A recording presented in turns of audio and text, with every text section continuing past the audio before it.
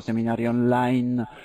dedicato al tema dei dati aperti nei comuni, in particolare nei comuni piccoli, uh, l'idea di capire come la federazione di comuni possa generare un patrimonio di dati più consistente. Io vedo che scrivete buongiorno, quindi ricambio il mio buongiorno, mi pare di capire che non ci siano problemi di audio e di video, ci vedete, ci sentite uh, bene.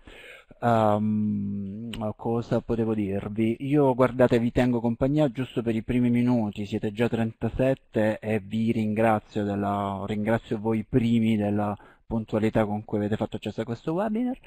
Um, L'idea è di raccontare, oggi sono in buona compagnia, vedete qui accanto a me c'è Walter Merler, eh, vi raccontiamo in prima parte del webinar l'esperienza dei comuni trentini, nella seconda parte del webinar la terra delle gravine. Vi dicevo, siamo in buona compagnia, c'è Walter con me, c'è Francesca Gleria, c'è Gabriele Francescotto sul primo intervento e poi qui in basso, nella seconda parte del webinar, c'è Piersoft, già eroe del precedente webinar sui comuni e che torna oggi e ci racconta un'esperienza un po' diversa. La scorsa settimana ci ha parlato di Matera, oggi ci racconta l'esperienza della Terra delle Gravine.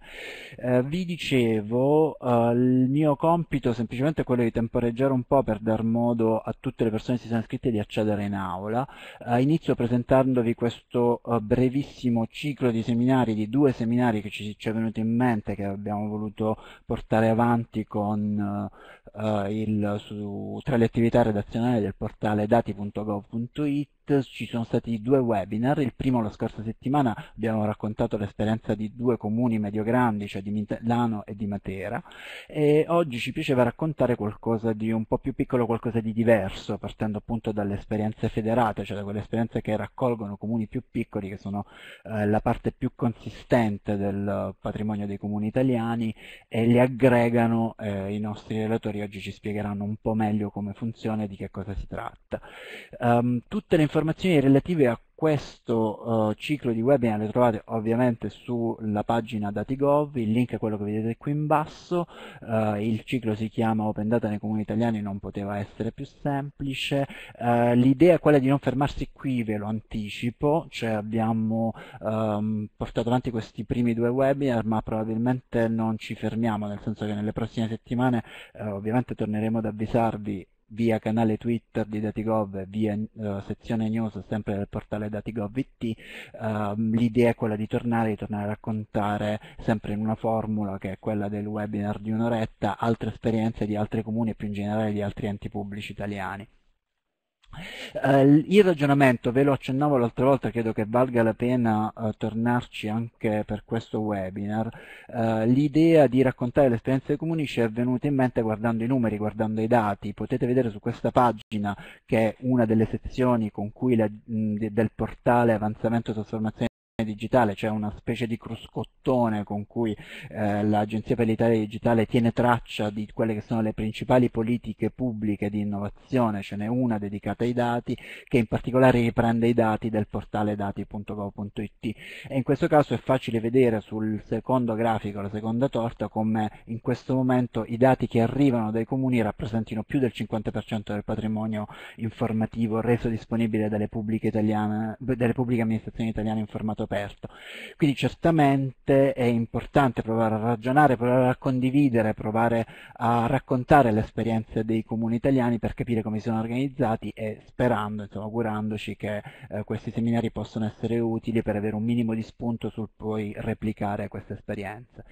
Eh, vi dicevo che ehm, oggi trattiamo due esperienze diverse ma simili, nel senso in, nella prima parte ci spostiamo nel Trentino e raccontiamo l'esperienza federata dei comuni del Trentino, che è una cosa importante, una cosa che va avanti da un po', e Walter, Gabriele e Francesca ci raccontano un po' meglio qual è stata l'organizzazione, quali sono state le scelte che hanno fatto, le scelte tecnologiche, le scelte organizzative che credo siano particolarmente importanti per chi uh, vuole ritornare a un'esperienza simile, mentre nella seconda parte scendiamo nelle le mie Puglie e grazie a Piersoft eh, vi raccontiamo un'esperienza differente, cioè l'esperienza della Terra delle Gravine, il Grand Canyon delle Puglie e um, proviamo a capire con l'aiuto appunto di Persoft come si sono organizzati, com'è che eh, l'esperienza sta andando avanti e come ancora una volta potrebbe essere replicata. Io ci tengo particolarmente prima di chiudere questo intervento a dirvi che come da tradizione la chat su cui già avete scritto e in questo momento Alessandra sta scrivendo eh, è assolutamente libera, quindi qualunque domanda vi dovesse venire in mente da porre ai nostri relatori non esitate a utilizzarla, poi mm, noi ci preoccupiamo noi di proporre le vostre domande ai relatori a conclusione dei loro interventi. Ci piace in logica di riuso, in logica di apertura del patrimonio informativo, in logica di uh, uh, forte augurio che queste esperienze ancora una volta possano essere replicate, mettere a disposizione tutti i materiali, tutta la conoscenza che viene sviluppata nell'ambito di queste iniziative attraverso la, la piattaforma Eventi PA e in questo caso rendiamo disponibile la registrazione integrale del, di questo webinar che stiamo facendo in questo momento embeddata dal canale YouTube del Formats e le slide che utilizzeranno i nostri relatori pensiamo possa essere utile per avere un po' di punti di riferimento. Um, L'ultima cosa che ho da dirvi è che uh, sia la presentazione che le slide le ritrovate esattamente sulla pagina da cui vi siete iscritti, quindi la pagina è questa qui, è una pagina di eventi PA, resterà pubblica e aperta a tutti e da questo pomeriggio nella peggiore delle ipotesi da domani mattina dovreste ritrovare qui tutti i materiali eh, proposti oggi. Io credo di avervi più o meno raccontato tutti, quindi, tutto, quindi non vorrei rubare altro tempo ai veri e propri interventi del webinar di oggi, quindi penso che taccio la mia logorrea, passo la parola a Walter Merler, eh, chiedo a Persoft di, di, chiudere la sua webcam, il suo microfono, ormai Persoft è abilissimo come relatore nei nostri webinar, quindi non ho neanche bisogno di chiederlo. A te eh, Walter, grazie, grazie ancora. E, e ciao a tutti. Eh, io ho accettato molto volentieri questo invito di di Gianfranco eh, perché il taglio e l'impostazione che lui ha dato a questo webinar eh, credo possano consentire molto semplicemente di eh, dirvi un po' quella che è stata la nostra esperienza, il metodo che tra virgolette abbiamo usato, la ricetta insomma che abbiamo utilizzato per raggiungere diciamo dei risultati, degli obiettivi che eh, non ne faccio una questione quantitativa, però insomma hanno portato in questi ultimi eh, quattro anni alla pubblicazione di eh, circa 4.000 dataset eh, provenienti dai comuni trentini. Eh, ci tengo innanzitutto a dire, proprio per, e riprendo quello che diceva Gianfranco sulla possibilità di riuso, di replica di ciò che è stato fatto in Trentino, che eh, in Trentino non siamo diversi dagli altri i comuni, e poi vi dirò un po' qual è il, il contesto in cui ci troviamo, sono comuni dalle caratteristiche analoghe a quelle del resto del paese, gli amministratori comunali idem, i dipendenti idem e per quanto riguarda eh, le imprese, eh, e cito quello che aveva avuto modo di dire Gabriele Ciasullo in un convegno che si è tenuto a Trento qualche mese fa, la PA deve preoccuparsi relativamente poco poi di cosa faranno le imprese di questi dati, perché senza dubbio le imprese hanno creatività e fantasia maggiori della PA, quindi sapranno certamente cosa farne e non è un nostro problema eh, quello di individuare poi quale può essere eh, l'output che deriva dall'utilizzo dei dati. L'importante è in effetti produrre e liberare dati ed informazioni pubbliche che provengono da, dai nostri comuni. Diciamo che il contesto in cui ci troviamo in Trentino è un contesto che vede una, eh, diciamo, un numero di, mh, oggi sono 177 comuni, cinque anni fa, anzi meglio tre anni fa erano 223, quindi grazie a un processo di riforma istituzionale molto spinta eh, di fatto sono andati a fusione eh, in 42 processi proposti, 29 che hanno portato esito positivo, sono andati a fusione appunto eh, circa 130 comuni sono stati interessati dai processi complessivamente e 50 comuni eh, sono stati eh, diciamo di fatto eliminati e sostituiti con nuovi eh, comuni nati da processi di fusione. Tenete presente che eh, nonostante questo processo eh, a fronte di un dato nazionale che attesta intorno al 70-72% il numero dei comuni al di sotto dei 5.000 abitanti, in Trentino siamo ancora al 90% di comuni con eh, densità demografica, o meglio consistenza demografica, sotto i 5.000 abitanti. Quindi immaginatevi una realtà eh, di comuni medio, medio piccoli, dove tendenzialmente, anche in termini di percezione, è ancora più difficile portare temi come quelli che oggi eh, sono in discussione in questo webinar. Eh, devo dirvi che eh, dal punto di vista di eh, ciò che abbiamo fatto, eh, abbiamo tenuto in considerazione in prima battuta quale, quello che era il contesto in cui andavamo ad agire. Eh, il termine open data abbiamo dovuto farlo conoscere.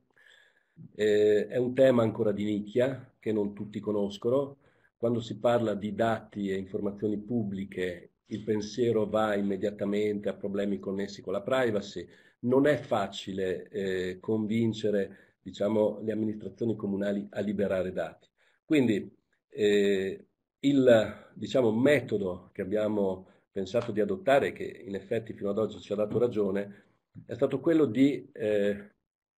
partire da una infrastruttura eh, che possiamo definire proprio un vero e proprio ecosistema, dove vario titolo, amministratori, dipendenti comunali, il consorzio dei comuni, eh, gli interlocutori istituzionali presenti sul territorio, danno tutti il loro contributo. Di fatto vincono, vincono tutti. Abbiamo quindi messo a punto una piattaforma eh, informativa dei portali istituzionali che nel giro di quattro anni sono stati distribuiti praticamente in tutti i comuni, in tutte le comunità di valle, questa piattaforma che poi Gabriele Francescotto in particolare vi presenterà eh, va sotto il nome di, di Common Web. Abbiamo creato una, una community che oggi vede eh, circa 1150 dipendenti comunali eh, pubblicare informazioni secondo una, uh, metodi standard, sono costantemente formati, aggiornati, li leghiamo noi attraverso un, eh, diciamo una catena della fiducia che ormai coinvolge il Consorzio dei Comuni, amministratori, dipendenti e qualunque soggetto eh, si cimenti in questo, in questo, settore. Abbiamo pensato che il termine open data eh, fosse utilizzato in un modo un po' particolare. Abbiamo pensato di progettare pensando open data. Abbiamo pensato di realizzare ciò che andavamo a fare pensando open data, cercando sempre veramente il, il, valore delle cose che stavamo facendo e pensare a eh, diciamo, output concreti che poi dessero la dimostrazione di quanto sia importante liberare questi dati. E sarà poi l'intervento di Gabriele che andrà a mostrare concretamente ciò che abbiamo prodotto. A dirvi la verità non abbiamo mai calcato più di tanto la mano su cosa fossero gli open data, ma abbiamo fatto in modo di eh, creare una sorta di effetto collaterale positivo, cioè intanto fate questo, fidatevi, se vi diciamo che eh, metterci un po' di impegno a pubblicare dati in un certo modo ne vale la pena,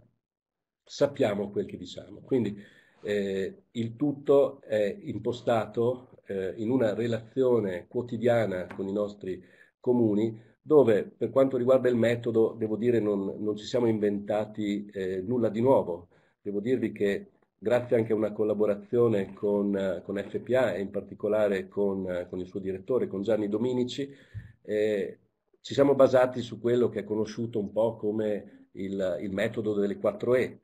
quindi una prima E che sta per endorsement. Ci siamo resi immediatamente conto che non potevano, non potevano essere portati avanti progetti di questo tipo senza che gli amministratori fossero assolutamente consapevoli e convinti di ciò che si andava a fare. Senza il loro eh, convincimento, senza diciamo, la loro eh, come dire, buona volontà a procedere in tal senso, non si sarebbe nemmeno potuti entrare nelle, nelle, all'interno delle strutture. Una seconda è eh, che abbiamo diciamo, cercato di, eh, di, di, di, portare avanti è eh, il termine enforcement. Ci siamo eh, cioè basati su tecnologie eh, che fossero tecnologie all'altezza di ciò che andavamo facendo e da qui devo dire che eh, l'incrocio con Gabriele Francescotto è stato determinante. Tutto ciò che è stato prodotto in termini eh, di tecnologia che poi lui dimostrerà eh, è stato fatto eh, in maniera egregia con un costante anche eh, contatto con Agid, con Team Digitale, con tutti coloro che a livello nazionale portano avanti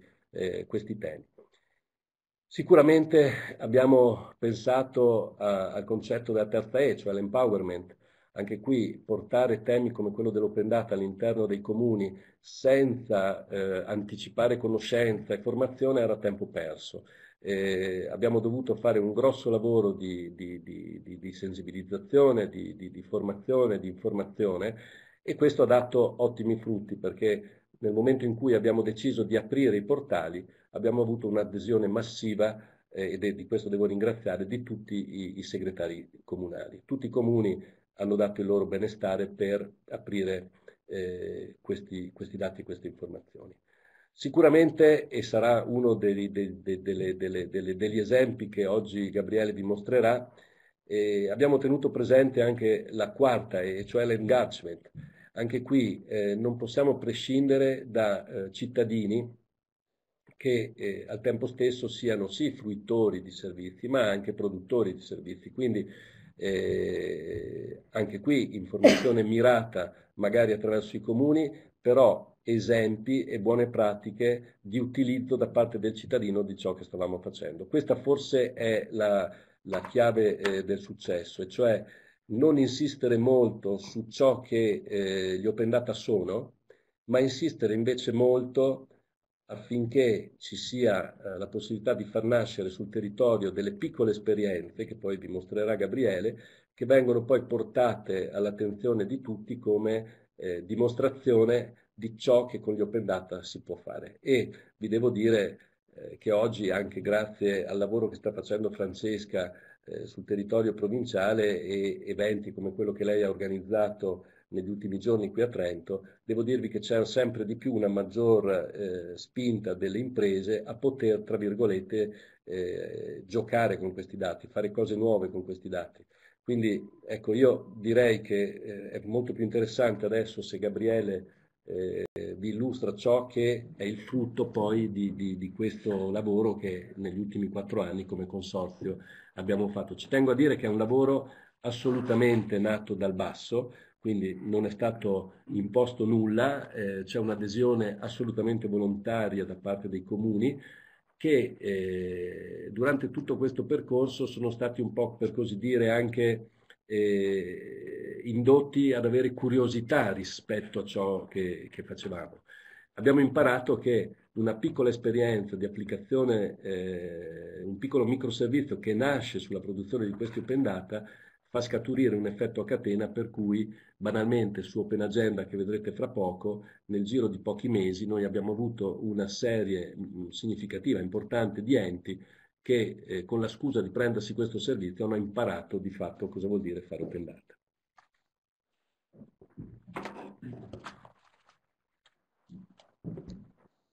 Eccoci qua. Buongiorno a tutti. Dunque, io riprendo l'ultimo ehm, concetto espresso da, eh, da Walter Merler ehm, per eh, cercare di entrare un attimo più nel, nel tecnico, insomma, no? e ehm, cercare di descrivere ehm, anche da un punto di vista organizzativo quello che abbiamo portato avanti all'interno dell'iniziativa appunto con web. E Common Web di fatto può essere definito come eh, un metodo e una tecnologia a supporto, diciamo di questo metodo che vi ha eh, appena illustrato Walter, eh, che è nato per risolvere problemi naturalmente. Cioè una delle cose molto concrete che sta facendo il Consorzio dei Comuni è cercare di risolvere una serie di problematiche molto concrete e eh, eh, contingenti che hanno eh, le persone che lavorano all'interno della pubblica amministrazione innanzitutto, Qui in questo caso la sfida era posta sulla multicanalità, quindi capacità da parte dei redattori, quindi di funzionari comunali, di gestire contemporaneamente più canali. E la regola di base era naturalmente quella di poter gestire anche quelli del web separando nettamente ciò che è il contenuto dalla forma con cui il contenuto vi è rappresentato. E la nostra missione naturalmente è stata cercare di mettergli a disposizione anche una tecnologia per eh, risolvere questo tipo di problema. Quindi oggi hanno con Common Web un modo per strutturare e gestire le informazioni separatamente rispetto ai canali attraverso cui vengono eh, veicolati i dati e naturalmente in questo abbiamo proposto dei metodi un po' più eh, agili e agevoli insomma, per ottimizzare anche i tempi necessari per pubblicare dati. E in tutto questo una, la mission che sta alla base è quella di mettere tutti quanti i soggetti coinvolti, quindi inizialmente funzionari comunali, adesso eh, anche cittadini, di trasferire la propria conoscenza all'interno di ambienti controllati, all'interno delle macchine, in modo tale che anche le macchine, che sono eh, prettamente stupide, potessero capire qual è questo pezzettino, questo frammento di conoscenza che ogni persona naturalmente si porta dietro, ciascuna con le proprie professionalità, competenze che possono essere interne alla pubblica amministrazione, ma anche lato cittadino, nel caso in cui il presidente di un'organizzazione, per esempio, di un'associazione, si trovi a organizzare un evento. Quindi il eh, nocciolo della questione, il fattore chiave, eh, consisteva nello strutturare molto bene, quindi attraverso classi di contenuto, i portali istituzionali. E la scoperta che abbiamo fatto naturalmente è stata che gestendo informazione pubblica i portali istituzionali ci davano tutta una serie di possibilità anche per erogare in maniera aperta i dati. Eh, che ci siamo preoccupati fin dall'inizio a eh, gestire in modo tale che fossero comprensibili per le macchine, quindi machine readable data e abbiamo mappato tutto quello che abbiamo trovato all'interno dei, dei portali, quindi di questi spazi pubblici, insomma, disponibili sul web, le informazioni e ci siamo dati progressivamente delle regole per farlo. I risultati quali sono stati? Beh, dall'inizio che eh, abbiamo iniziato a cambiare, sempre in termini di eh, open data, un po' la catena del valore che partiva insomma, da dati piuttosto complessi in termini di formati e eh, facendo risparmiare un sacco di lavoro anche alle imprese che arrivavano eh, e dovevano affinare, eh, raffinare, ehm, pulire i dati che comparivano insomma, sui vari portali web nelle forme più diverse, cercando di fare due operazioni. Uno è quello di renderli più consumabili, quindi molto più velocemente eh, estraibili dai portali attraverso un'interfaccia API, e, e dall'altro naturalmente proporre un metodo per omogeneizzare queste strutture, avendo perfettamente consapevolezza del fatto che se eh, le varie aziende interessate al riutilizzo accedono anche ai database dei piccoli, a questi portali aperti in qualche modo eh, dei piccoli comuni, eh, avranno molto più facilità a farlo se potranno replicare esattamente questo tipo di esperienza eh, in altri comuni o in comuni più grandi. E da questo punto di vista quindi siamo riusciti a ottimizzare un po' la filiera, quindi poter eh, pubblicare eh, da parte dell'ente un'informazione strutturata significa metterla immediatamente a disposizione aggiornata anche attraverso questo layer di API. E in questo modo risolviamo immediatamente il problema della multicanalità, l'informazione può essere ripresa su più canali digitali, ma anche essere erogata eh, via API per chi vuole ovviamente sviluppare applicazioni terze. E se guardate, questa è una curiosità, ehm, all'interno di tutti i siti che abbiamo realizzato, questi portali istituzionali che abbiamo realizzato fino adesso, all'interno di questo percorso, quindi dominio barra open data barra console, è possibile interrogare il sistema e avere eh, dei dati strutturati cliccando sul, um, su quel link che vi compare in corrispondenza della freccina rossa voglio eh, estrarre tutti gli eventi, per esempio, di un portale, posso interrogare il database e il sistema mi risponde con eh, un formato aperto, eh, che è questo poi di fatto. Vedete che ci sono informazioni che piacciono molto alle macchine come, come formato. E primo vantaggio quindi è quello dell'automazione, cioè creare in automatico una sezione interna al portale eh, istituzionale finalizzata a dar valore agli open data, quindi ehm, dove vengono collezionate e anche ricercabili i dataset. E, mh, altro valore è naturalmente la pubblicazione sempre automatica di almeno due informazioni sul portale provinciale eh, degli open data. Significa pubblicare i dataset in più formati, significa però anche definire in maniera automatica la struttura che questi hanno. E naturalmente quello che abbiamo iniziato a creare, eh, appunto, ed è stato un elemento di facilitazione notevole il portale Open Data ehm, Trentino, è stata una catena eh, in qualche modo di eh, portali che fossero tutti quanti potenzialmente collegabili grazie a questa omogeneità di infrastruttura tra, tra, di essi. Quindi eh, l'occasione, questo ha fatto particolarmente piacere al Consorzio dei Comuni, è stata iniziare a consolidare una serie di relazioni istituzionali eh, tra enti innanzitutto, ma anche facilitare le relazioni tra imprese e enti, tutto attraverso i portali, e cercare di dare eh, veramente valore alle persone coinvolte. Il cuore pulsante di Comun Web oggi, al di là di tutta una serie di soggetti aderenti, sono proprio i redattori. Abbiamo numeri altissimi di persone che conoscono un, un metodo, eh, capiscono il valore di una tecnologia e capiscono quello che ha il senso di immettere un dato in un portale. Una volta immesso viene distribuito potenzialmente ovunque. È naturale che arrivati a un livello di maturità eh, ormai piuttosto mh, significativo eh, anche di questo progetto, ci siamo interrogati su quale fosse il modello di dati, quindi la strutturazione che i dati dovessero avere nel momento in cui ehm, volessimo veramente eh, spingere su una diffusione un riuso dei dati e quindi eh, naturalmente come andare a strutturare ehm, a beneficio di molti ormai, visto che sono quasi 200 gli enti aderenti, eh, l'impatto degli, degli open data. E quindi partendo dalle nostre classi di contenuto, eh, il database, in pratica il modello dati che ci portiamo avanti da un po' di tempo, abbiamo cercato di capire quelle che potevano essere le iniziative eh, più vicine a noi e abbiamo intercettato appunto eh, alla fine di, di queste, dell'estate scorsa eh, questa ottima iniziativa di, di Agit, Ontopia, che ehm, seguiamo come guida. Quindi ehm, stanno mappando a livello di Agid tutta una serie di dati e informazioni per noi utilissime che noi seguiamo per la strutturazione sia di portali istituzionali che di una serie di altri servizi collaterali. E naturalmente eh, Agid in questo è a garanzia del fatto che chiunque, qualsiasi impresa, eccetera, potrà trovarsi dei servizi eh, che noi eroghiamo a livello locale che seguono naturalmente uno standard. Quindi l'idea è quella di eh, continuare a rimanere agganciati a livello nazionale affinché a livello locale, sia in termini di modello dati, sia in termini di vocabolari controllati, possiamo avere un allineamento costante e quindi trainare anche tutto questo sforzo che i 1200 e oltre redattori continuano a fare su base quotidiana. E dal punto di vista dell'allineamento delle classi di contenuto abbiamo già delle esperienze molto interessanti, facendo riferimento appunto a questi, a questi vocabolari. Ogni volta che si eh, pone la questione di eh, far evolvere il modello, che è pensato anche dal punto di vista tecnologico per essere costantemente affinato, e prendiamo le esperienze migliori, in questo caso ormai è la provincia insomma, no? Più ehm, competenza naturalmente verticale sulle singole questioni e quindi che può aiutarci eh, a perfezionare il modello anche con degli esempi pratici quando dobbiamo gestire i profili di persone, di organizzazioni, di servizi pubblici o di eventi pubblici e che può dare dei contributi in modo tale che eh, tutti i comuni attraverso il loro sistema eh, se ne avvantaggino, andando verso una generale omogeneizzazione dei dati. L'esempio concreto è quello di Open Agenda, per esempio, un microservizio che non fa altro che mostrare eh, eventi raccolti dalle associazioni di un territorio. In questo caso abbiamo un comune che abilita tipicamente 80 ehm, o 100 cittadini, tutti quanti responsabilizzati da login e password per la gestione, una cogestione di eventi pubblici entrano all'interno del sistema, usano un format a questo punto assolutamente omogeneo in tutto il territorio per codificare sia l'evento sia il profilo del, dell'associazione. I vantaggi sono innumerevoli, quindi si hanno, si hanno maggior diffusione, si ha un arricchimento progressivo del dato e eh, naturalmente una catena di fiducia che porta a far sì che quel dato finisca in reti molto più ampie rispetto a quelle a cui ha accesso tipicamente un'organizzazione privata.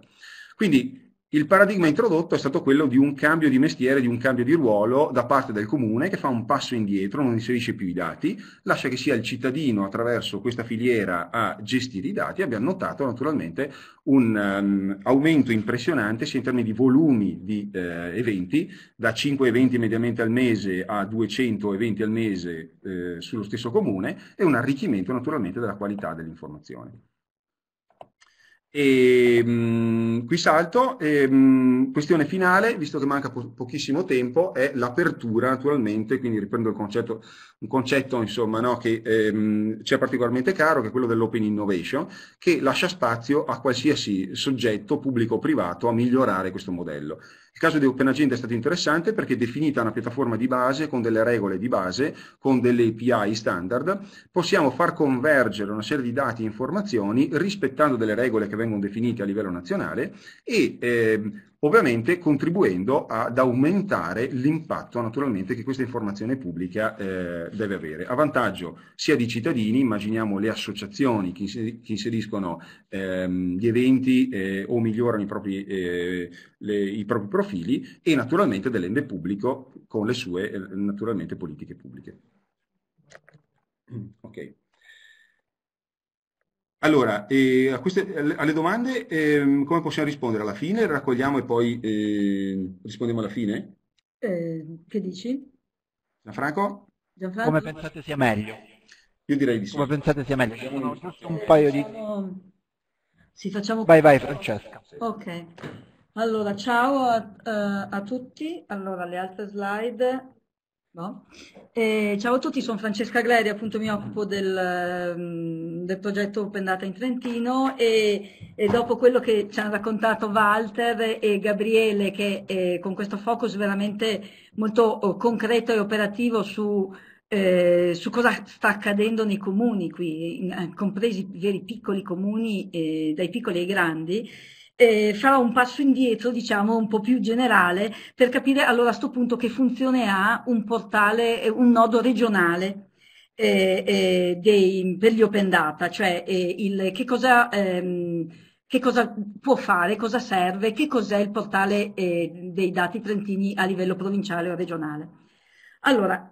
in generale direi che si è parti, eh, parto da un discorso veramente generale, ma che è molto importante per capire il valore, come si fa a dare valore ai nostri dati. Allora, si è sempre parte, anche amministrativamente, di qualcosa d'altro. Allora abbiamo 176-77 comuni, 15 comunità, una regione assieme a Bolzano, 48 progetti eh, con i comuni confinanti che sta gestendo Bolzano e Trento. Abbiamo 19 regioni, due province autonome, 14 città metropolitane, 7.000, cioè 8, eh, più o meno 8.000 comuni, 28 membri dell'Unione Europea e, e circa 62 euroregioni. Allora, cosa vuol dire? Vuol dire che tutti questi soggetti eh, si relazionano ai cittadini, ai cittadini sono sempre gli stessi, più o meno diversi dal punto di vista territoriale, ma di fatto eh, eh, tu, ogni cittadino ha a che fare con tutte queste istituzioni. Allora, cosa, eh, cosa significa questo? Eh, significa che abbiamo una rete fitta di tante pubbliche amministrazioni, tanti comuni e, mh, con vocazioni e bisogni differenziati e tanti diversi livelli di responsabilità verso i cittadini. Ognuno di questi livelli risponde a bisogni diversi dei cittadini e insieme gestiscono il territorio. Ok? I comuni dal loro punto di vista, le province, le regioni dal loro punto di vista, a livello nazionale lo Stato dal suo punto di vista e a livello europeo le politiche europee. Le scelte, le scelte, di crescita, di sviluppo, le politiche culturali, sociali e ambientali, tutte vengono eh, gestite a partire da diversi livelli di governance. Nel punto d'incontro della rete di tutti questi attori istituzionali e delle azioni che si fanno per il cittadino, che è sempre lo stesso, di, di tutte le scelte di governance e di politica, il punto d'incontro, dal nostro punto di vista ovviamente, di questa cosa, noi troviamo i dati, cioè le informazioni il punto di contatto, diciamo, in qualche modo eh, eh, codificato fra i cittadini e, il, e, gli enti pubblici. Allora, aspetta che vado avanti, eccolo qua. Allora, quindi, da questo punto di vista, i dati sono uno strumento per conoscere e decidere, per rendicontare e anche per permettere lo sviluppo di nuove imprese. Quindi hanno un valore economico, fanno conoscenza e, e, no, sono, e sono pubblici. E cosa deve fare a questo punto il nostro, cos'è la funzione del nostro portale e de, di un portale, di un nodo unico di accesso ai dati? È quello di tutelare e aumentare il valore economico di quei dati. Queste sono varie stime, le sappiamo tutte, della, della crescita legata ai dati a livello europeo, nazionale e quindi anche locale questo è il nostro modello federato, quindi, in cui abbiamo detto cerchiamo di valorizzare in modo assieme tutti questi dati, perché i dati che possono avere un significato solo all'interno di un piccolo comune o di un piccolo territorio come il Trentino non ha nessun valore. I dati devono essere, devono, acquistano valore nel momento in cui il loro valore dipende dal loro essere riusabili al di fuori del contesto in cui sono usati, per cui sono stati creati e sono riusabili quando sono le solite cose legittimi, leggibili dagli umani, leggibili dalle macchine e affidabili. Quindi la funzione del portale è quello di tutelare e garantire processi che mantengano il valore dei dati e accompagnare di fatto il cambiamento organizzativo attorno alla cultura del dato. Quindi cosa abbiamo fatto? Abbiamo ad esempio definito una checklist che mi possa garantire dei processi legittimi, dove io di fatto posso proporre a tutte le persone titolari dei dati di ragionare sui passaggi importanti. Sei veramente tu il titolare di quei dati che stai aprendo? Per caso quei dati fanno riferimento in qualche modo a, a dati personali? Allora, se a seconda di cosa rispondi vai da una parte o vai da quell'altra e comunque non si pubblicano dati che non sia legittimo pubblicare perché quei dati non hanno valore. Boh. Allora, garantire dati leggibili e uniformi. Abbiamo definito, ci siamo resi conto che metadatare, cioè spiegare, mettere a fianco al, al, alle specifiche del DKP il, chi è il titolare, chi è il, pub, il, publisher, chi è cosa, non è poi così semplicissimo, è facile che a volte si creino di nuovo sempre delle complicazioni, ma che cos'è, ma che cos'è, ma che, anche perché le redazioni sono diffuse. Quindi abbiamo definito delle spieghe proprio semplicissime insieme agli altri in modo tale che si cerchi di creare un'uniformità nel modo di dare valore ai nostri dati, garantire un punto unico di accesso e, e di ricerca tramite PI, avete visto, tramite il, um, c'è un nodo, se qualcuno è interessato alle, ai dati relativi agli organi politici dei comuni, la, la, la, parola chiave è organi politici e poi ce li ha tutti, strutturati giustamente come ha fatto con, la, con le politiche del, del, consorzio, in modo uniforme e quindi le aziende più facilmente, gli interessati a quei dati, riescono a riusarli. E poi ovviamente garantire standard di interoperabilità semantica di cui ha parlato anche eh, Gabriele, che, che, permettono di dare valore ai nostri dati eh, locali in termini internazionali. E poi ovviamente partecipare come territorio alla comunità nazionale impegnata nella realizzazione del piano triennale. L'altra interessante eh, funzione che può avere e che sta avendo il nostro, il nostro nodo dei dati aperti eh, regionali è di coinvolgere le imprese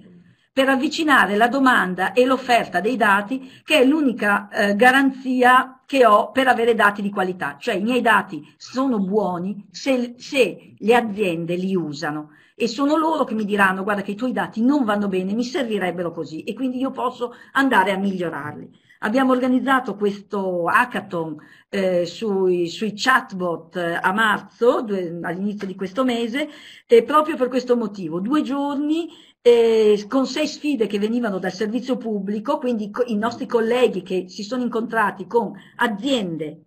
e studenti che hanno eh, sviluppato dei bot a partire da dati reali messi a disposizione esattamente per la, per la, per la HBot. Questo ha creato un, un cortocircuito molto produttivo di conoscenza fra gli uffici, gli studenti e le imprese e questa è una delle, delle, azioni che consiglio a tutti eh, il più possibile per poter vedere concretamente fino in fondo tutti i passaggi di questo processo di valorizzazione dei dati.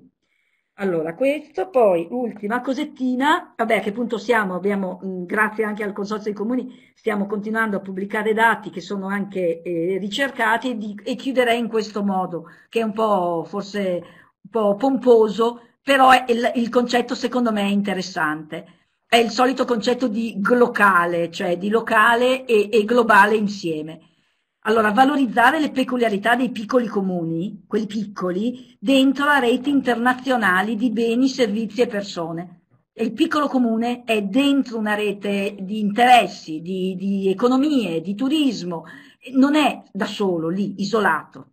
Allora, il um, dare valore al locale si può fare grazie alla connessione fisica e logica con delle reti globali. La connessione fisica la danno i mezzi di trasporto, le reti, le reti le, le, la, la, possibilità di essere collegati a internet. La, la, la connessione logica significa che i nostri dati e le informazioni di quel piccolo comune possono essere ritrovati perché sono standardizzati, perché sono di qualità, per tu, perché sono legittimi, possono essere trovati in tutta la rete europea del, eh, di, di, quello che sta dietro a questo al digital single market o a quello che si sta creando di queste nuove economie.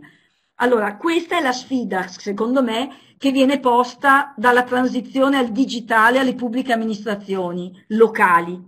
e anche la funzione, nel nostro caso, di un nodo regionale per i dati aperti, cioè prendere il locale, cioè prendere tutto il buono che viene prodotto a livello locale, metterlo in rete grazie anche a esperienze federate come quelle del Consorzio di Comuni, con queste collegarle agli altri enti del territorio, le agenzie, la provincia, eccetera, e con questi collegarsi a quelli nazionali e in questo modo aver creato una rete di un patrimonio informativo importantissimo che è dato dai dati. E io qui avrei finito. Spero di essere stata Ecco, grazie mille. C'erano un paio di domande per voi, le vedete qui riportate in chat. Io faccio una sintesi, la prima era di uh, Piersoft che vi chiedeva una dimensione rispetto al costo, all'investimento, a quanto quest tutto questo ha comportato. E una seconda domanda invece arriva da Vincenzo, riguarda sostanzialmente il riuso dei dati, cioè se uh, avete notizie rispetto a chi o come vengono riutilizzati i dati di cui ci avete raccontato oggi. Allora io li rispondo eh, per quanto riguarda costi. Allora, eh, tenete conto che eh, oggi eh, se un comune, eh, facciamo un esempio dei, di quella decina di comuni che, dovessero, che mancano oggi, penso dovrebbero essere una decina, allora il costo di eh, installazione della nuova piattaforma funziona così. Il comune eh, chiede l'attivazione del sito al Consorzio dei Comuni Trentini. Il Consorzio dei Comuni si gira verso Open Content che ha vinto recentemente la gara europea per il, la gestione del servizio per i prossimi tre anni. Vi dico anche le cifre, paga a Gabriele Francescotto, tanto non ci sono segreti, sono soldi pubblici che girano, quindi ve lo dico, paga a Gabriele Francescotto 1120 euro eh, attraverso questo incarico che costa la cifra che vi ho detto, eh, Gabriele Francescotto attiva la piattaforma, poi calcolate che come consorzio dei comuni noi eroghiamo un servizio di eh, contributo alla, di aiuto alla migrazione dalla vecchia alla nuova piattaforma e di formazione che poi peraltro rientra nella quota associativa del consorzio, ma se dovessimo quantificarla parliamo comunque di 300-400 euro tutto compreso. Quindi, eh, grosso modo, oggi per un comune che deve istanziare Common Web, la spesa è di eh, 1120 euro più costi indiretti e diretti del consorzio, siamo attorno ai 1400 euro di, eh, diciamo, di fattura che io presento al comune. Per quanto riguarda invece i costi di mantenimento e quando parlo di mantenimento parlo di eh, servizio di manutenzione correttiva, adeguativa e hosting. Eh, quello che noi oggi eh, ero, eh, paghiamo a Open Content, che è praticamente l'azienda di Gabriele Francescotto, eh, che ci eroga il servizio per le circa 200 piattaforme che oggi abbiamo attive, stiamo parlando di una cifra onnicomprensiva anche eh, del servizio di assistenza 24 x 7 x 365 che si aggira intorno forfettariamente, quindi a prescindere da quanti comuni eh, arriveranno anche nel prossimo futuro o quanti microservizi attiveranno, verranno attivati nel futuro, intorno, se non vado errato, ai 75 mila euro eh, onnicomprensivi all'anno. Quindi eh, fate voi i conti e dividete per 200, perché più o meno sono 200 le piattaforme che abbiamo fuori, quello che può uscirne. E poi abbiamo, eh, ho detto male, eh, Francescotto ci fa l'assistenza sistemistica più che il servizio hosting. L'hosting noi eh, lo abbiamo con la nostra società di sistema e la spesa per la gestione del servizio di hosting si attesta intorno ai 30.000 euro onnicomprensivi annui. Quindi eh, dal punto di vista della gestione il costo di mantenimento di queste 200 piattaforme oggi attive sul territorio che ricordo producono open data come effetto collaterale, non le abbiamo fatte per produrre open data ma le abbiamo progettate pensando open data, ha un costo che si attesta intorno ai 100.000 euro, 110.000 euro all'anno e un costo di attivazione a carico del comune di circa 1.400 euro per piattaforma. Evidentemente poi il consorzio dei comuni erogando anche la manutenzione e l'assistenza in termini di servizio agli antisoci eh, evidentemente eh, spalma questi 110.000 euro di costi eh, per 200 più costi diretti e indiretti, siamo su una media insomma intorno agli 800, 900, 1000 euro di canone eh, annuo a, a comune. Li abbiamo differenziati in maniera un po' arbitraria sulla base della consistenza demografica dei comuni, però ecco queste sono le cifre che oggi girano. Quindi, tanto per capirci, non è che questa cosa viene fatta in Trentino perché in Trentino siamo pieni di soldi o perché abbiamo possibilità superiori alla media. Diciamo che è la classica, la classica, le classiche economie di scala, più siamo meno paghiamo, ecco tutto qui. Spero di, se, se, spero di essere stato abbastanza chiaro sui costi. Assolutamente sì, Walter, grazie mille. Mm. Ottimo. E invece io vi posso dare una risposta per quel che riguarda la seconda domanda, e cioè come le imprese possono accedere ai dati. Allora, probabilmente siamo andati un po' veloci nella presentazione di prima, comunque c'è un portale Dati Trentino It, naturalmente, che tiene tutto insieme eh, e quindi che eh, dice, mostra esattamente insomma, quelli che sono i dataset disponibili, contenenti evidentemente tutti i dati, in formati diversi, quelle che sono le licenze di utilizzo, quello che è l'ente che ha rilasciato eh, il dato, eccetera, eccetera. E dal punto di vista delle, degli strumenti, tutte queste sono informazioni che vengono rilasciate attraverso layer API, quindi sono sostanzialmente dei web service molto leggeri eh, vengono erogati direttamente dalle piattaforme dei comuni, quindi sono consultabili in forma aperta e quindi qualsiasi azienda insomma, che abbia dell'interesse può utilizzarli per eh, integrarli all'interno del del proprio, applicativo.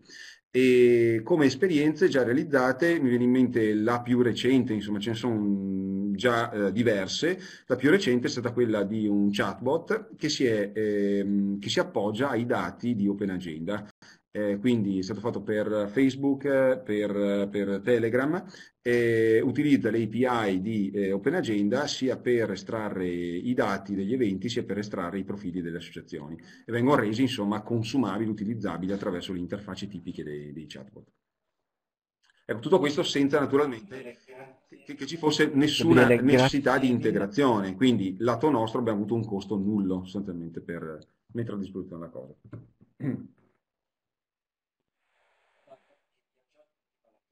No, infatti via chat prima la chiacchiera ci portava a dire che è una sorta di open data by information design, insomma, una, una, è molto interessante l'idea che eh, l'open data non sia il centro ma sia un derivato di, di un'operazione più ampia e che poi per forza di così arrivi già standardizzato e accessibile, convogliabile in un contenitore più grande.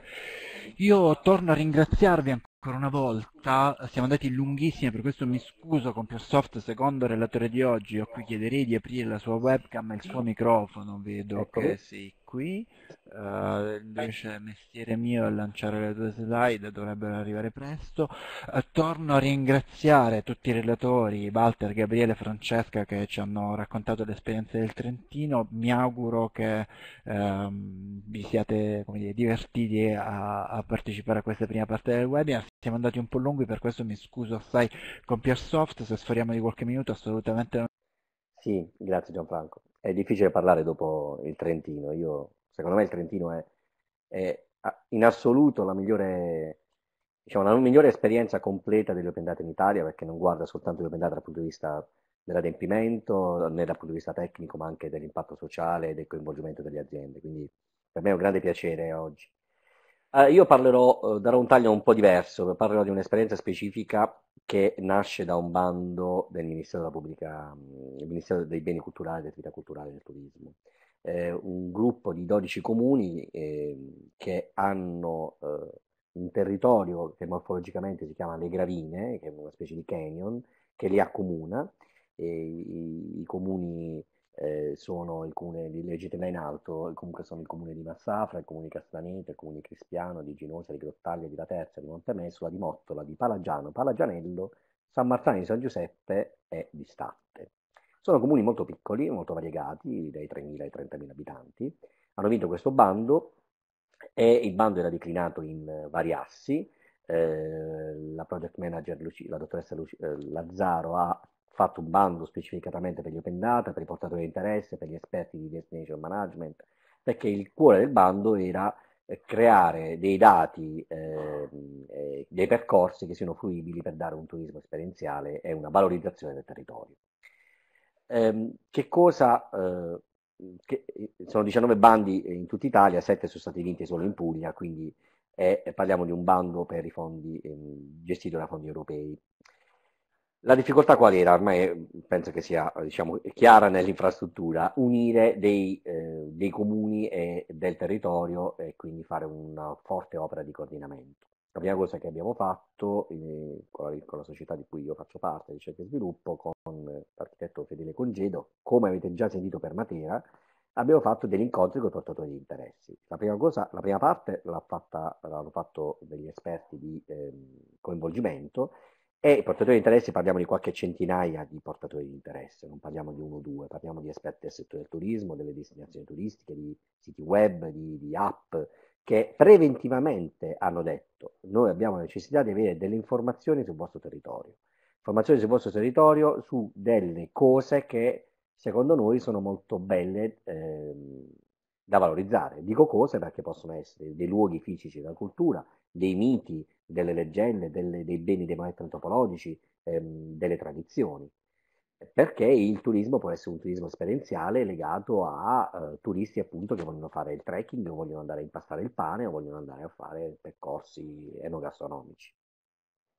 Per cui abbiamo fatto, iniziato subito a fare degli incontri con gli amministratori interni, ehm, abbiamo iniziato a capire cosa fosse eh, disponibile all'interno delle 12 amministrazioni, 12 comuni, abbiamo iniziato a coinvolgere immediatamente anche le scuole, perché faceva parte del bando questa cosa, eh, è stato realizzato un sito da uno degli assi, diciamo, ehm, dalle aziende che hanno vinto e questo sito sarà a regime il sito dove verranno eh, proposti tutti i dati che sono stati censiti e raccolti. Ma quali dati? Allora, abbiamo fatto prima un, proprio una griglia, un censimento a priori dove abbiamo eh, diviso tutti gli argomenti che sono emersi durante gli incontri partecipati e li abbiamo suddivisi per ciascun comune. Quindi ogni comune ha dato un voto da 0 a 3 dicendo questi dati non ne ho, questi dati ce li ho già, questi dati ce li ho già in formato digitale, questi dati li possiamo costruire, abbiamo delle pubblicazioni, non abbiamo nulla o addirittura abbiamo già avuto digi- dei fondi per digitalizzare questi, che sono la, la digital library o le biblioteche, quindi abbiamo anche dei formati addirittura già eh, compliant con i formati aperti. Quindi da, eh, abbiamo messo da 0 a 3, però di fatto ci siamo fermati a 2 perché non è che siamo riusciti ad avere tutti i dati in maniera bella precisa e belli e pronti. Immaginate piccoli comuni che avevano la necessità di essere innanzitutto eruditi eh, su di, su, sull'argomento specifico, uh, uscire dall'ottica dell'adempimento, uscire dall'ottica del bando, uscire dall'ottica del vogliamo fare bella figura ma mettere tutti insieme eh, è stato un grande lavoro di coordinamento molto complesso, eh, anche perché eh, tutto questo inevitabilmente ha, ehm, ha, ehm, ha, avuto la necessità di coinvolgere le scuole. Parliamo di 12 comuni, parliamo di 10 scuole e eh, stiamo parlando di 250 ragazzi. Stiamo parlando di 250 ragazzi, stiamo parlando di una cinquantina di funzionari eh, c'è la parte politica, avevamo tante chat Telegram, una con la parte politica, abbiamo ancora una con la parte politica, una con la parte operativa, una con ogni singola scuola, perché i ragazzi hanno avuto una formazione specifica su come costruire dei dataset sui luoghi della cultura. Sui luoghi della cultura, ma non definendo noi che cosa volesse dire luoghi della cultura o quali dovessero essere le ontologie, ma seguendo quello che voleva il MIBACT, il MIBACT, il Ministero, ha rilasciato un portale, eh, dati.beniculturali.it, con delle ontologie, ne parlava prima Francescotti, c'è anche eh, sul portale dell'Agid questa ontologia che si chiama Cultural On, che riguarda proprio i luoghi della cultura e gli eventi. Noi ci siamo focalizzati sugli eventi, eh, scusatemi, sui luoghi della cultura. Ehm, e soprattutto abbiamo la necessità di tradurre tutto questo processo in strumenti semplici da utilizzare per i ragazzi e per i funzionari per cui la, la, versione più semplice che potevamo far utilizzare era una tabella. Una eh, tabella eh, con dei campi che fossero obbligatori, alcuni che fossero opzionali, alcuni raccomandati e nel caso di vocabolari controllati eh, dei menu a tendina che impedissero di fare errori. Quindi i ragazzi hanno compilato questa tabella facendo un'opera in classe di riflessione sul proprio territorio. Cioè, quando abbiamo fatto il censimento di quello che volevano i portatori di interesse, abbiamo confrontato col portale dei dati aperti che ha la Regione Puglia. In particolare l'ente di promozione turistica, cioè il Puglia Promozione, ha eh, dei grandi portali di promozione del territorio, Viaggiare in Puglia per quanto riguarda i luoghi e le cose da visitare e Puglia Events per quanto riguarda gli eventi. e eh, abbiamo un po' visto quello che eh, era stato già censito, già, eh, già promosso per ogni singolo comune. Quindi per differenza abbiamo detto, che ne so, nel comune di Massafra ci sono cinque luoghi da visitare, la chiesa madre, la zona archeologica, la zona rupestre, eccetera. Voi ragazzi, secondo voi, con i vostri insegnanti, che cosa ci sarebbe anche da valorizzare del vostro territorio? Caso, questo è l'esempio del caso di Massafra, nel caso di Massafra eh, sono emersi 120 luoghi da visitare rispetto ai 15 censiti, passatemi il termine, dall'alto di un ente, di regionale. Questo perché ogni luogo ha una sua caratteristica, ogni luogo può essere oggetto di attenzione per i turisti che sono diciamo, attenti a un discorso di nicchia o possono essere dei luoghi che riguardano anche il territorio in senso lato, una piazza famosa perché è successo una cosa famosa, un rito, una, un luogo eh, dove è avvenuto un particolare avvenimento. E soprattutto tutti questi luoghi sono stati strutturati appunto secondo ehm, la, eh, l'ontologia, tra virgolette ontologia, trasformata in, in, una tabella e tutti e 12 i comuni hanno iniziato questo percorso con 10 scuole, istituti superiori, in alternanza scuola-lavoro, quindi organizzando le visite guidate, eh, scusate, le visite mh, predeterminate insieme ai funzionari, molti funzionari sono messi a disposizione, hanno adottato questi ragazzi perché in pratica erano i tutor diciamo, del comune con i ragazzi. L'appetito è venuto via via, diciamo, è cresciuto via via che andava avanti il progetto, è stato chiesto esplicitamente che questi dati venissero pubblicati su un portale open data, per cui come offerta migliorativa abbiamo realizzato il portale open data dati.terradelegravine.eu e mh, per chi mastica di queste cose è fatto su un Docker messo a disposizione dal team di Piacentini, quindi eh, è compliant alle linee guida dell'Agid sul DKPT, eh, sull'harvesting e eh, in più io ho aggiunto il design della pubblica amministrazione dell'Agid eh, per cui questo portale a tutti gli effetti è, è conforme a tutte le linee guida dell'Agid in questo momento presenti. E i ragazzi hanno iniziato a pubblicare dei dati in autonomia, sia in CSV ma anche in Excel perché è stato chiesto esplicitamente ai portatori di interesse che non avessero avuto la necessità di rendere interoperabili i dati, anche di avere il formato, diciamo, eh, low profile dal punto di vista delle stelle degli open data, per poter essere, diciamo, visualizzato in maniera oh, non interoperabile, mentre il CSV è il, formato, il primo formato che ci è venuto in mente per rendere interoperabili questi dati. Tra l'altro, ripeto, strutturati tutti nella stessa maniera. Ma ehm, eh, dicevo, l'appetito è venuto mangiando, per cui sono state chieste anche delle cose che esulavano, diciamo che andavano al di là di quello che era il normale censimento di un'agricoltura e addirittura siamo entrati sulla digital library delle biblioteche comunali. Abbiamo chiesto l'aiuto di un esperto, Nicola Barbuti, che è un professore che si occupa di semantica e di ontologia, per strutturare questi dati invece secondo le ontologie dei link ed open data della regione Puglia, in modo tale che i ragazzi hanno continuato a fare un censimento diciamo, prototipale dei libri più, di, interesse più eh, più alto all'interno di queste biblioteche, quindi è stata fatta anche un'opera di formazione su che cosa vuol dire un libro, cosa vuol dire la, l'importanza di un libro rispetto a un altro, eh, quelli che ovviamente rappresentassero il territorio fossero sempre indirizzati a una valorizzazione in ottica turistica e culturale. Per cui anche Digital Library abbiamo pubblicato nel caso delle biblioteche comunali di Massafra, di Grottaglia, eh, anche di Mottola,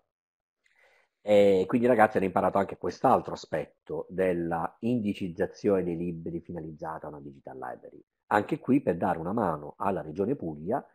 perché il progetto ehm, in qualche maniera fornisce già dei dati chiave in mano da poter essere importati sul portale regionale. In questo momento la Regione non ha delle politiche open data nel fare queste operazioni come è stato fatto in Trentino, per cui noi cerchiamo dal basso di fornire uno standard che sia assolutamente scalabile mi sento di dire che questo standard della Terra delle Gravine è assolutamente una cosa replicabile dappertutto e quindi in qualche maniera forniamo già un processo che possa essere in qualche maniera d'aiuto al portale regionale e alle politiche poi che si potrebbero andare a, a innestare. Vedo bene anche il discorso del Comunweb e del consorzio come hanno stato fatto in Trentino perché da una parte si lavora dal basso, far nascere la necessità di pubblicare questi dati in formato strutturato, si mette su dei web services corazzati e si mette tutto su un portale federato regionale. La vedo una naturale evoluzione, speriamo che si vada, si vada verso quella direzione. Quindi dicevo, grazie a Nicola Barbuti abbiamo lavorato dal punto di vista della Digital Library e ehm, c'è da dire che eh, ci siamo subito resi conto che il potenziale inespresso del territorio era molto alto,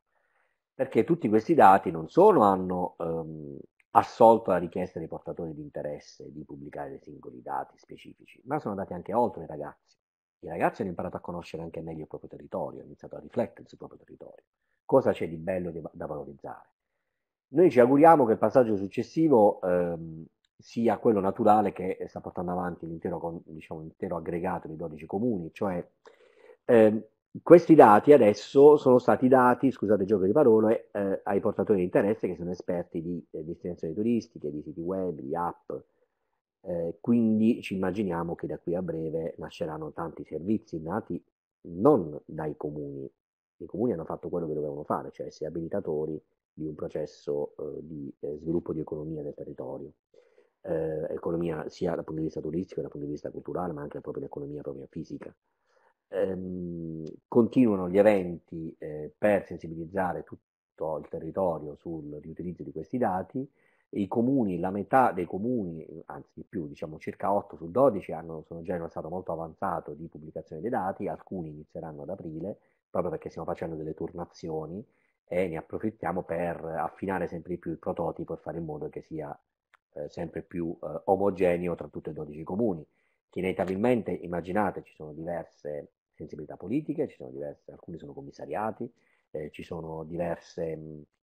scuole che impattano sul territorio, alcune sono a distanza, bisogna organizzare il trasferimento, alcune erano del posto, alcune non erano eh, perfettamente allineate rispetto alla sensibilità dell'argomento. L'istituto industriale informatico probabilmente ha meno sensibilità sul lato culturale e turistico, ma non è detto, abbiamo avuto delle ottime risposte in maniera molto trasversale sui ragazzi degli istituti superiori. La difficoltà, ve lo dico già da subito, è quella di trovare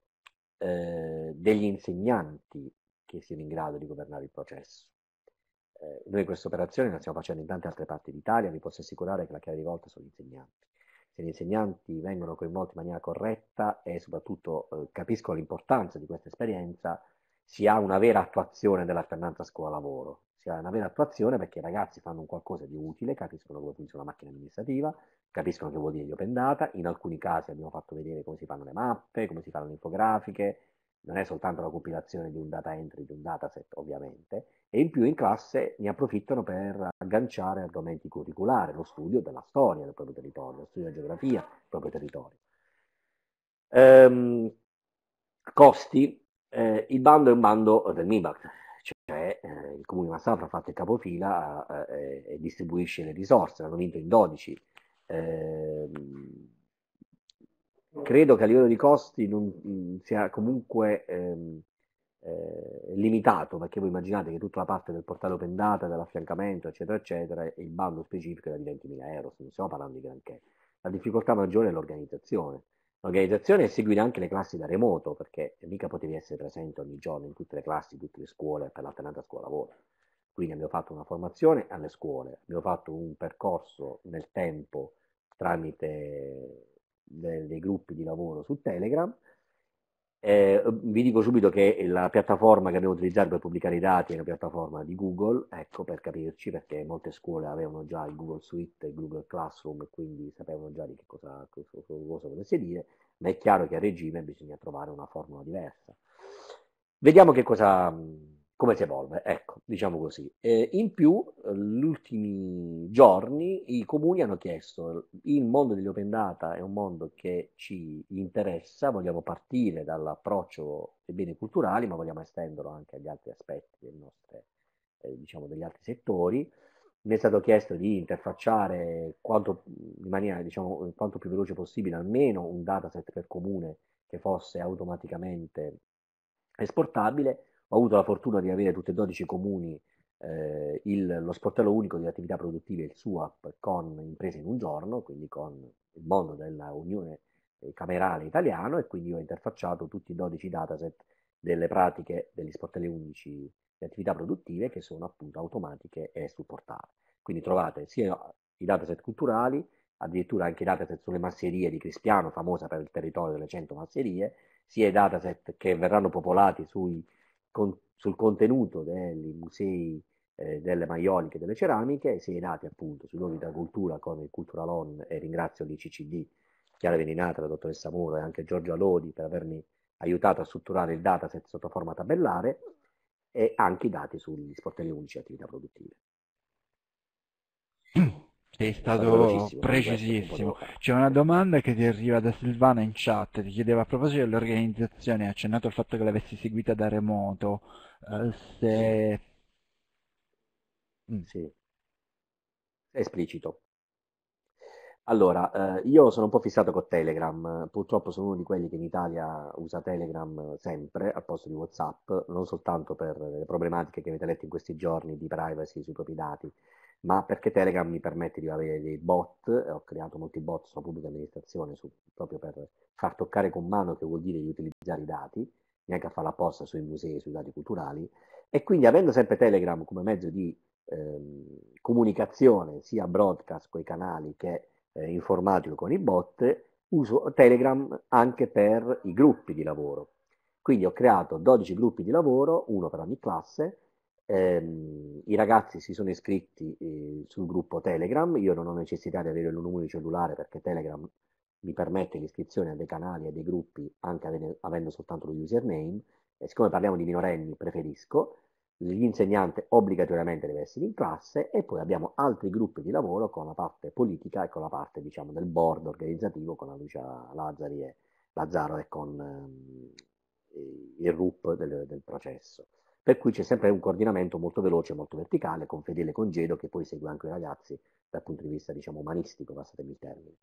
Ehm, questa cosa è una cosa assolutamente scalabile, vi posso già anticipare che lo stiamo facendo su Roma Capitale, l'abbiamo fatto su altri 12 comuni di un altro bando MIBAT, eh, lo facciamo ogni volta che c'è un discorso di alternanza scuola-lavoro e soprattutto la necessità di lavorare a distanza. I ragazzi mi scrivono, quando io posso rispondo, poi vado a vedere il dataset che combinano e gli faccio degli esempi specifici. Avete sbagliato qui, avete sbagliato lì. Punto. In maniera molto veloce. Francesca in chat un attimo fa rilanciava questa idea delle scuole che eh, anche a mio avviso secondo me è centrale. Abbiamo un'esperienza eh, che ormai è giunta al terzo al quarto anno, credo, in Italia importante sul tema dell'open data e della trasparenza delle scuole che a scuola di open coesione, è una sorta di derivata del, della, uh, del progetto Open Coesione, che sapete è il portale della trasparenza del, um, delle politiche di coesione in Italia, ed è davvero molto interessante sempre sul tema. Io sono, mi è capitato di, di intervenire durante sessioni di racconto, di condivisione dei report di monitoraggio civico fatti dai ragazzi attraverso il portale Open Coesione. Vi assicuro che è una delle esperienze italiane più interessanti in assoluto. Il tema di riuscire a um, catalizzare l'attenzione di ragazzi su oh, questa roba, su raccontargli che qui a qualche anno, quando saranno più grandi, avranno a che fare con uh, le proprie esperienze professionali o più in generale se diventeranno cittadini, l'idea di uh, dover pretendere dalle proprie amministrazioni i dati in formato aperto, di poterli riutilizzare, di, di, avere consapevolezza civica rispetto all'importanza del tema, a mio avviso è centrale. Io l'altra cosa... Aggiung... Sì, prego, prego. Eh, sì, scusami, mi permetto di, di, aggiungere questa cosa sulle scuole. Eh, eh, sono varie le fasi in cui tu puoi coinvolgere la scuola. Puoi coinvolgere sulla fase del riuso, cioè creando una classe di futuri, di future interfacce che prendono i dati per fare qualcosa, come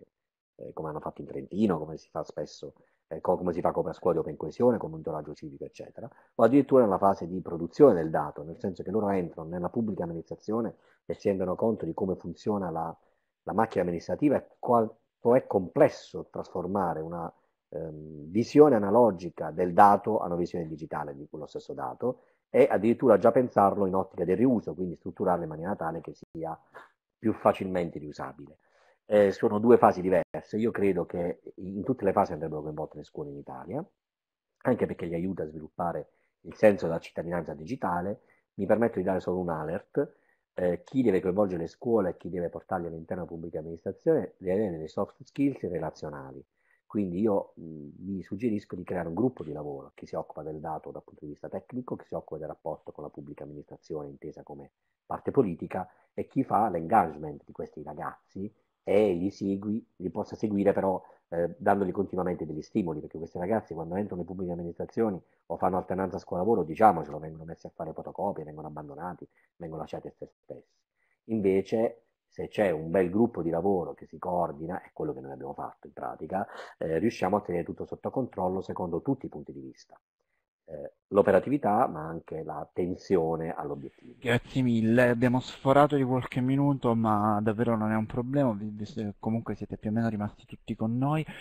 Io volevo ringraziare in particolare il riguardo al primo degli interventi di oggi, riguardo agli interventi di Walter, di Gabriele e di Francesca, volevo sottolineare giusto un paio di passaggi iniziali a beneficio del, del, dire, della condivisione eh, cui, dell'idea di condivisione con cui nascono questi seminari. Mi è piaciuto particolarmente il passaggio di Walter Mesler sull'idea di una governance basata sulla fiducia, una cosa abbastanza preziosa. Eh, molto poco frequente nella pubblica amministrazione l'idea che eh, qualcuno al centro di un consorzio chieda ad altri soggetti pubblici di fare qualcosa sulla base di un rapporto di fiducia è, è davvero molto interessante e molto prezioso. E mi sembra utile come esperienza mh, trovare una condivisione e raccontarle e dargli particolarmente risalto